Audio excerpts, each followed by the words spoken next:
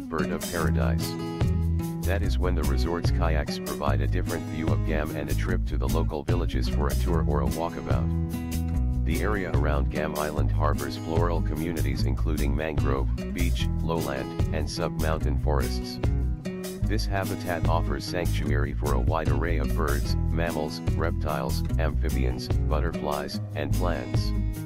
Indulge in a jungle trek and you help the resort give back to the local economy.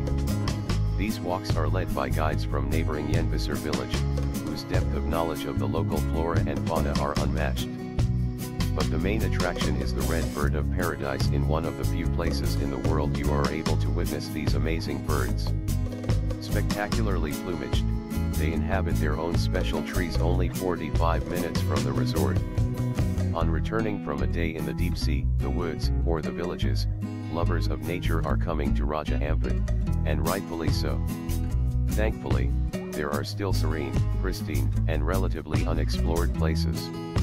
And they are worth discovering and protecting.